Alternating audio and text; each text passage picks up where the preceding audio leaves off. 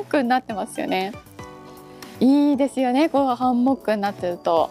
うちの猫ちゃんもタープみたいなハンモックがかかってるんですけれども冬になったからこれちょっとお店で見かけた白いモフモフの毛布みたいなのをつけてあげたんですよ。これちょっと季節で変えてあげようと思ってつけたら一回もタープ乗らなくなりました。えー、と思ってあんなにタープでよく寝てたのに一回も乗らなくなってそれくらい嫌なタープだったんだろうなと思ってすごいねしょげてます。いや最初はねなんかこう慣れないからかなって思ったんですけどもう2ヶ月くらい経ちます。一向に一回もそもそもで寝てるどころか乗ってるところすら一回も見たことない。ああるあるですか？2ヶ月くらいあるある？でも多分気に入らないってことですよね多分ね。ちょっとしたこと嫌なのよねというぐらい。結構さあの悲しんでます私。一人ですごい設置したんですけどね。まあしょうがないということで外します。かわいそうなので外します。昨日お休みだったんですけどお出かけした後ちょっと疲れてあのソファーに横になったんですよ。そしたら上で寝てくれました。結構珍しいのこれ。私より父に懐いていて父と一緒に寝てるんですよいつも。でずっとずるいみたいなそりゃ好かれるに決まってるずるいみたいなことをいつも言ってるんですけど昨日はなぜか私のソファーに寝てるところに入ってきてくれたんですよ。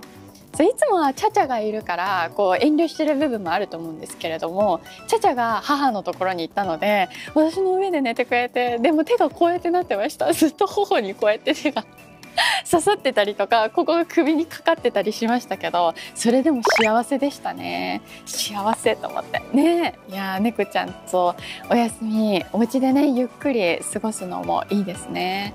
本当に一個一個の行動がねずっと可愛くて見ていて癒されます。山口さんは猫派ですか犬派ですか？確かに猫派でございます。猫派ですか。もうすごいだすごい意志を感じます。猫え猫を好きになったきっかけとかあるんですか？あのうちのベランダに住んでた先住猫 見てたら可愛い。あ住み着いてたんですか？私が引っ越した時にはもうベランダに 山口さんより早かったんですね。三毛猫さん可愛いです一家が住んでて一家だったんです一家だったんです。一匹じゃなくてですか？親三毛猫と子猫たち三匹、はい、子猫三匹で。家族世帯ができましたじゃないいましたよベランダに。ベランダのこのガラス戸を開けたまま寝てて、はい、その、ね、猫が入ってあの明け方にゴミ袋漁ってたんですよ、はい、うちのガサガサガサガサ。あじゃあの泥棒かと思って。ますよね。泥棒かと思いますよね。布団の中でこう布団かぶりながらですね、これは一体どうやってこれは撃退するべきなのかというのをずっと心臓をバクバクバクバクさせながら何かこうねあの飛びかかるようななんかないのかとか。一生懸命考えたんですけどもこれが本当の泥棒猫ってうまいですね皆さんその猫さんずっとゴミ箱あさってるんですよ ですか？でこんな泥棒いるわけないと。確かにもっと違うとこ狙いますよね。しかも豪快に音を立てながらですね。起きてくれと言わんばかりの音を立てる泥棒はいないと。はい。でもガーって起きたら目が合いましてね、はい、猫さんと。猫さん。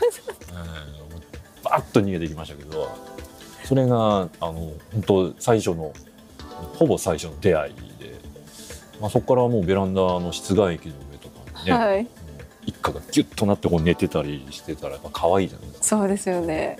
だから今猫派です。なんかもう家族みたいですね。もうそうみたいですよね。